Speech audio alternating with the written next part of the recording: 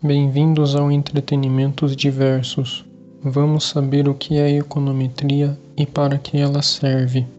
Atenção! O vídeo é meramente informativo, não sendo, portanto, uma recomendação de investimentos. Palavra que parece fazer referência a uma ciência de difícil entendimento, o uso da econometria tem se tornado cada vez mais amplo mesmo que muitos nem saibam que fazem utilização dela.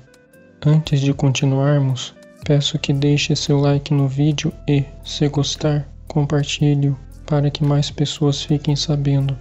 Vamos lá.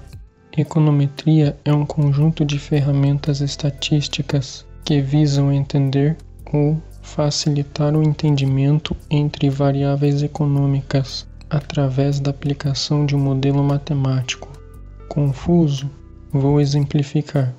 Quando uma pessoa resolve comprar e vender ativos na bolsa de valores, por exemplo, muitas vezes ela vai usar ferramentas para tentar medir os melhores e piores momentos do mercado, a fim de tentar identificar oportunidades.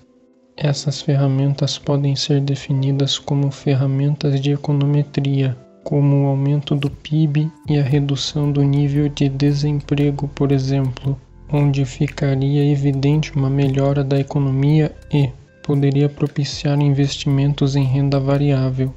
Modelos matemáticos também fazem parte de ferramentas de econometria.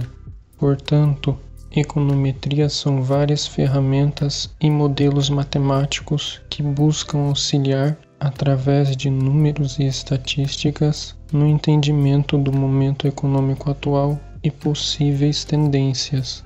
A aplicação destas ferramentas são muito realizadas por diversas pessoas, sem nem saberem que se trata de econometria. Ter consciência do nome e conceito pode ser importante na busca por aprimorar os conhecimentos. O vídeo de hoje fica por aqui. Espero que tenham gostado. Até a próxima.